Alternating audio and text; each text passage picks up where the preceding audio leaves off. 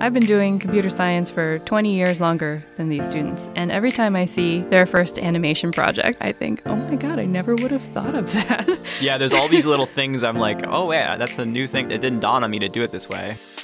Very few high schools offer CS, and a lot of our intro CS students just wanted to know what computer science is. Rather than just program stuff in the console, they learn program concepts and they use it to create works of visual art.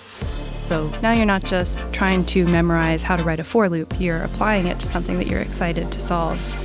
It's like a foreign language. Like, how do I convert my thoughts about what I want the computer to do into instructions to make the computer do it? Looking back at Project 1 after we do Project 11 and thinking about how, oh my God, 12 weeks ago it took me five hours to draw that star. yeah, there's tremendous growth throughout the course. I mean, tremendous. It allows students to do things that they may ordinarily want to do in other areas of academics and the arts.